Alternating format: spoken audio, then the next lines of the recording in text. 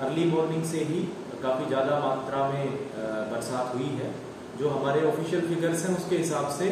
अगर आज सुबह से बात करें तो लगभग 11-12 बजे तक 150 सौ एम वन एम की बारिश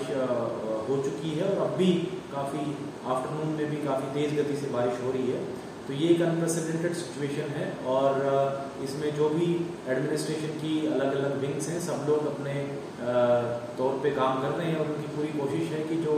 रोड्स हैं सबवेज हैं अंडर पास पासिस हैं, उन सबसे पानी निकाला जाए रेजिडेंशियल एरिया से पानी निकाला जाए। लेकिन चूँकि बहुत कम समय अंतराल में बहुत ज़्यादा बारिश हुई है तो निश्चित रूप से कुछ कुछ एरियाज़ में जल भराव देखने को मिला है। मैंने खुद भी शहर के काफ़ी सारे हिस्सों का निरीक्षण किया है और देखा है कि विशेष करके जो हमारा एन एच फोर्टी एट है, लगभग हर जगह पर ट्रैफ़िक फंक्शनल है, कहीं पे भी मेन कैरेज वे पे पानी आने की जो है सूचना नहीं है और सारी सिविक अथॉरिटीज़ इसमें पानी का जल निकासी के प्रबंध करने में लगी हुई हैं, पानी को निकालने में लगी हुई हैं, चाहे वो हमारी जीएमडीए के ऑफिशियल्स हों, चाहे एमसीसी के ऑफिशियल्स हों एस एच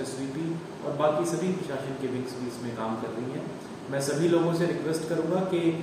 चूँकि सड़कों पे पानी भरने की सिचुएशन है इसलिए ज़रूरी काम से ही बाहर निकलें। और कल जो कि वर्किंग डे होगा, आज तो संडे था तो कल के लिए मैं सभी जो कॉरपोरेट्स हैं, उनसे एडवाइस करूँगा कि वो अपने एम्प्लॉयज़ को वर्क फ्रॉम होम करने की सलाह दें। और कोई अगर बहुत इसेंशियल सर्विसेज़ ना हो उनको छोड़ करके, वो वर्क फ्रॉम होम का सहारा लें ताकि कम से कम ट्रैफ़िक सड़क पे हो। और जो सिविक अथॉरिटीज़ हैं, उनको बाकी जो चीज़ें हैं, चाहे वो कोई कहीं पे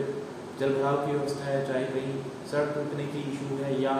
कोई पेड़ गिरने की प्रॉब्लम है इलेक्ट्रिसिटी रिलेटेड प्रॉब्लम है, इन सबको रिस्टोर करने का समय मिल जाए। इसलिए हम चाहेंगे कि रोड पे कम से कम ट्रैफ़िक हो और उसके लिए मैं सभी कॉरपोरेट से रिक्वेस्ट करूँगा कि मंडे को जितना संभव हो सके अपने एम्प्लॉयज़ को वर्क फ्रॉम होम करने की सलाह दें एडवाइस दें। आप सबको बहुत बहुत धन्यवाद।